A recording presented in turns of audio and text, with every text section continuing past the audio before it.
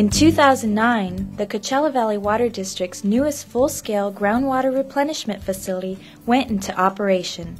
Named the Thomas E. Levy Groundwater Replenishment Facility after the Water District's former general manager. Here, imported Colorado River water is being used to artificially replenish water to our precious aquifer. The valley's aquifer is currently in a state of overdraft. This means we use more water each year than we are able to replenish through natural and artificial means. In the uh, eastern part of the Coachella Valley, we have um, overdraft caused by groundwater pumping, and we need to, to supplement natural recharge in that part of the valley. The district's first efforts to replenish the valley's aquifer started in 1918 on land near Windy Point in the Whitewater River Channel. The area at Windy Point with its coarse alluvial soil, is an ideal site for groundwater replenishment.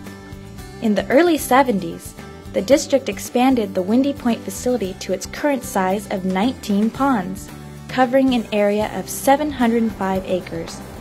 To date, more than 2 million acre feet of imported water have been replenished there. Uh, now it's time for the, uh, the eastern part of the valley to, to get its, uh, its recharge water, and this facility will uh, recharge approximately 40,000 acre foot a year and benefit the area from La Quinta all the way to the Salton Sea. Artificial recharge in the lower valley has been problematic because of a clay layer known as an aquitard that prevents surface water from percolating into the deep aquifer. Through extensive groundwater modeling and exploration, the district found a suitable replenishment site that would benefit the East Valley. This is the Thomas E. Levy Groundwater Replenishment Facility. Uh, this, this project was put into two separate contracts, a series of basins to percolate water into the aquifer, and a pump station to get the water to the basins. Both projects were awarded in May 2008 to TC Construction out of San Diego. One contract was for the pump station, the other contract was for the construction of the basins the first contract was a 1500 horsepower pump station located on the south side of the Trilogy development along Avenue 62. This pump station has a 48 inch suction line that ties into our existing distribution system off of Lake Cahuilla that brings in Colorado River water into the pump station. There are four separate pumps capable of conveying 60 CFS or 39 million gallons a day from the pump station through the discharge header up over the levee and into the basin project.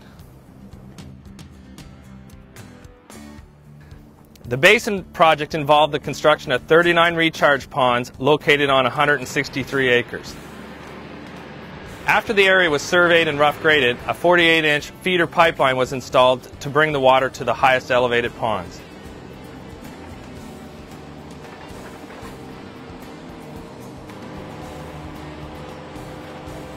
The ponds are built in a culturally sensitive location. They straddle the shoreline of ancient Lake Cahuilla. The majority of the shoreline has been fenced and preserved for perpetuity.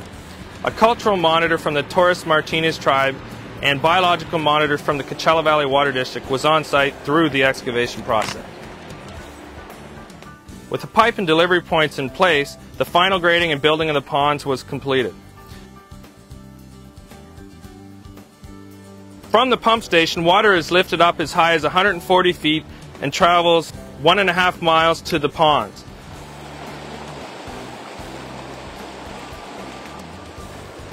We bring the water in with a 48 inch pipeline to the highest cell within the basin project. There are seven different cells and the cells carry from the top pond cascade down through a spillway to the lower elevated ponds. Our 60 CFS design capacity allows for approximately 119 acre feet a day to be percolated down through the ponds. This is a conservative estimate of two feet a day of percolation rates, but we're, we're finding recharge rates uh, a little higher than that. You know, this facility is just is one more piece in our comprehensive plan, and it is a very important piece of, of the plan. Uh, the the valley has a long way to go in being uh, water sufficient, and this is just one major milestone in getting us to the point where we don't have any long-term water uh, concerns in the valley.